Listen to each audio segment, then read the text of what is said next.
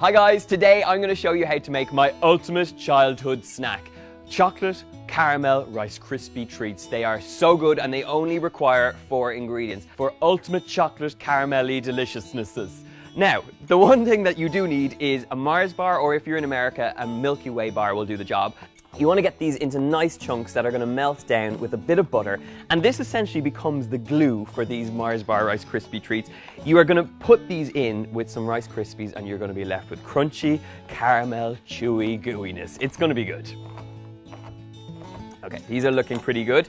So just tumble these into a bowl that is sitting over a pan of simmering water. And this is going to melt down with quite a generous amount of butter. So get that in there as well.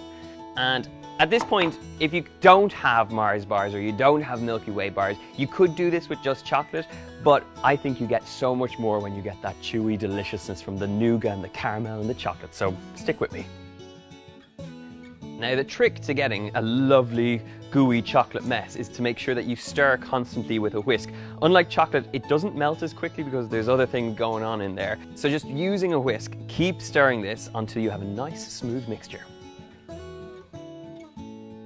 Okay, this is looking really good. So I'm gonna take it carefully off the heat and transfer over a little bowl of chocolate, which is gonna melt down while I get on with my Rice Krispie squares. So at this point now, your chocolate mixture has come together, it's melted down completely, and if you have a few lumps and bumps, it's not the end of the world. Just keep whisking and you should have a nice smooth mixture. So Set this aside. We have some Rice Krispies or some crisped corn cereal or whatever you can get your hands on. You just want that lovely crunch. This can be made with a whole host of different cereals, but I think this works the best.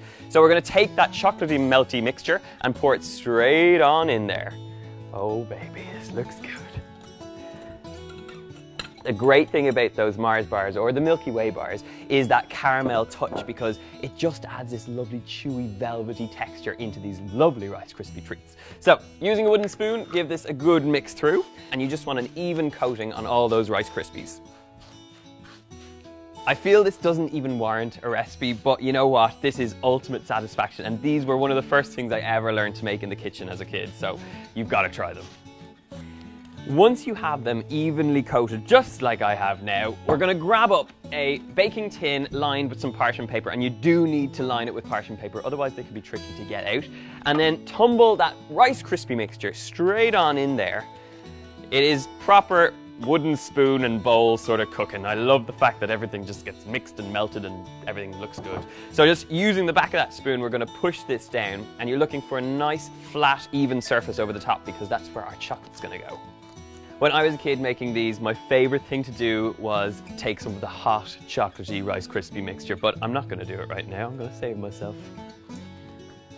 Okay, this is looking pretty good. So once this chocolate is melted, we're gonna pour that straight over the top, leave it to set, and chop it up. The chocolate I'm using here is milk chocolate. You can use dark chocolate if you want to, but I think if you're gonna go all out sweet, you've gotta use milk chocolate. So I'm just melting this down, and the best thing with milk chocolate is to melt it low and slow because it doesn't have as much cocoa solid, so it tends to kind of go a little bit grainy if you heat it up too quickly. So just take your time with this, and once you have a nice melted mixture, it's good to go. Ladies and gentlemen, we are in chocolatey business. So I need to now spread this out over the top of these Rice Krispie treats.